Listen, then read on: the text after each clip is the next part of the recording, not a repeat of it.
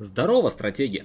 Мы продолжаем проходить испытания Суньзы и на очереди новые миссии, которые добавлены были в последнем патче. И мы поговорим сегодня об особых юнитах и бонусах юнитов друг против друга. И на самом деле в этот раз инструктор говорит вещи, которые важнее, чем то, что буду рассказывать я. Поэтому внимательно слушайте, что говорится во вступительном видео, а также читайте подсказки, которые выводятся на экран. Первая волна – это сражение против скаутов. И, разумеется, нам понадобятся пики. Главная проблема сейчас будет – это отследить, чтобы пике не... Чтобы на одну пику не приходилось слишком много скаутов. Иначе мы, вот как, например, здесь. Ибо эту пику легко могли забрать и уничтожить. При желании скаутами можно разбирать пики, конечно же с потерями при таком соотношении, но все-таки. И этим даже опытные игроки пользуются.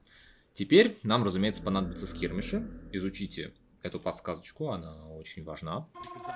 У нас есть 5 скирмишей, они же застрельщики против 6 луков. Мы будем использовать сейчас особую тактику, для которой нам потребуется горячая клавиша.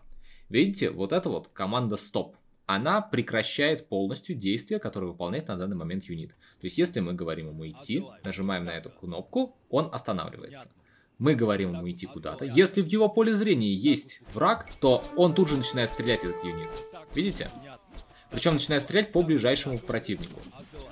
Плюс к этому я сейчас стараюсь уворачиваться от вражеских стрел, так как у врага нет баллистики, то враг не может стрелять на упреждение. А значит, мои выстрелы настигают цель, а его выстрелы нет.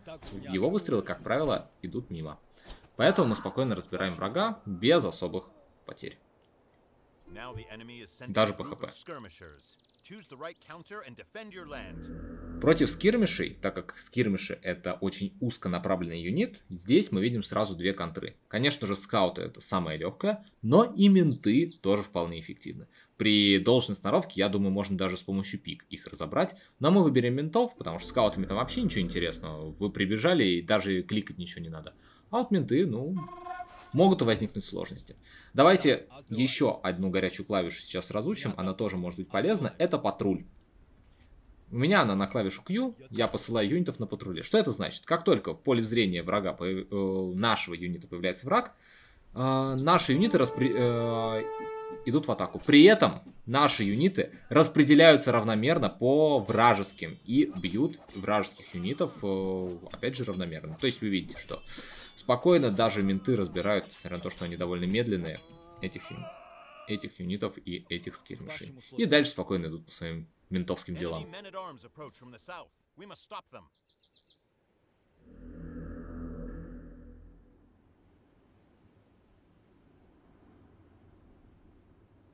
Сейчас мы будем использовать, конечно же, лучников, потому что, на мой взгляд, скауты и менты, они, конечно, хороши, но, скорее всего, не сработают здесь в сражениях один на один против вражеских ментов. Поэтому мы будем использовать тактику hit and run, и для этого будем применять наших лучников.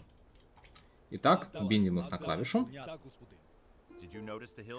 Да, за счет холмов мы здесь ничего не сможем сделать, скорее всего. Точнее, сможем, но немного. Сразу под... Ведем в бой. Убегаем, потому что сейчас мы наоборот будем воевать под холмом, это нам невыгодно.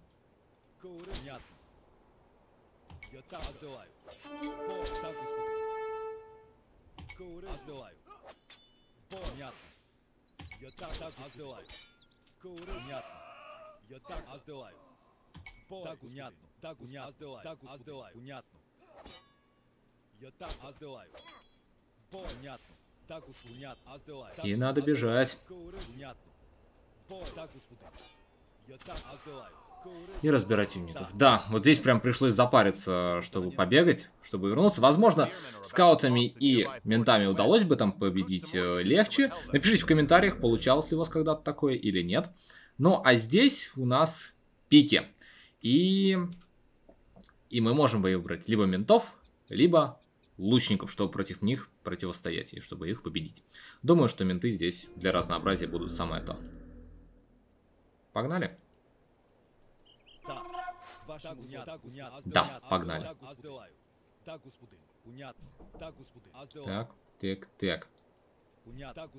В принципе, здесь лучниками можно было встать вот на этом э, броде и ловить вражеских пик.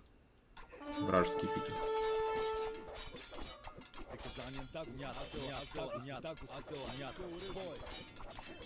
Ну, так как у пик очень маленький урон, то мы спокойно их разбираем.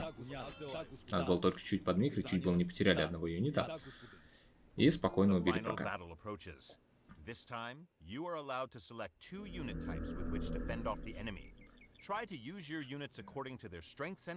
В этот раз мы можем взять э, два типа юнитов, и думаю, это будут против вражеских пик лучники и против вражеских скирмишей менты. Хотя по факту можно было бы взять два раза ментов, если такое нам давали. Так, и так. Теперь главное не подставиться лучниками под скирмишей. А в остальном все в порядке. Сейчас затащим. Так.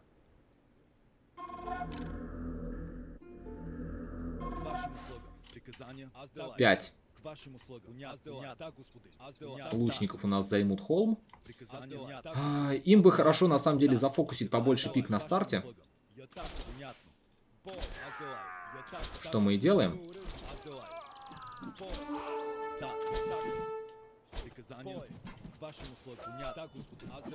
Воу, воу, воу, воу.